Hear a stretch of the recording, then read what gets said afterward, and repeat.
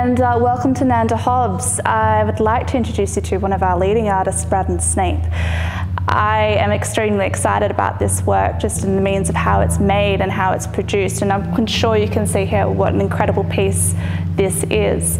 Uh, but it goes beyond the uh, sculpture as we know it. Uh, when we're welding, we're working with hard, angular forms, and uh, something like this is quite organic and fluid, and that really comes down to the means of how it's produced. This is an action sculpture. It means that the way it is made and the way that it is created is paramount to the meaning of the artwork we are looking at a form which is inflated with an air compressor.